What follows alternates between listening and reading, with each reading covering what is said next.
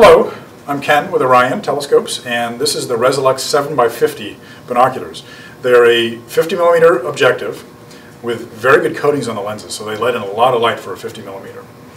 Um, they're fully multi-coated. They've got a wide 7.5 degree field of view, so wider than your average pair of binoculars.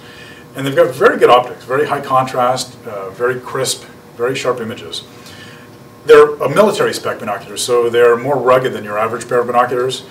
They're also waterproof, which means you know if you're out on the kayak or out on the, uh, at the ocean and there's a spray coming at you, you, you don't really have to worry uh, with a pair of binoculars like this. They've also got very long eye relief, so uh, even with glasses, uh, this would be a very good pair of binoculars to use. 7x50s are a great all-around binocular. You can use it for surveillance during the day, going to the sporting events. You can also use these for astronomy scanning across the Milky Way, seeing the brighter deep sky objects, uh, some brighter star clusters and nebulae. Um, and even, surprisingly, even with a 7 power, you can see the, the, uh, the moons around Jupiter uh, with a binocular like this. And if you point it at our moon, you're going to see some of the brighter craters and mountain ranges.